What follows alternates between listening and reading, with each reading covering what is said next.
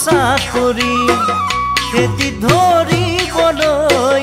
মাটি নাই ৰোৱাতি পঢ়া শুনা কৰিও নাপালো চাকৰি খেতি ধৰিবলৈ মাটি নাই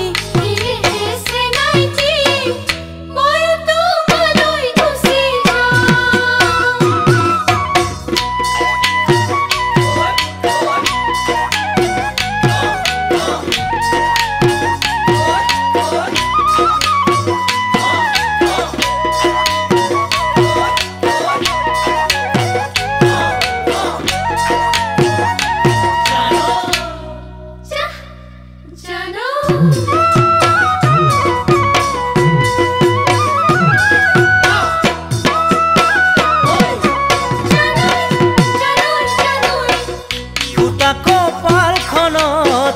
বিধাতাৰ লিখনি জীৱনৰ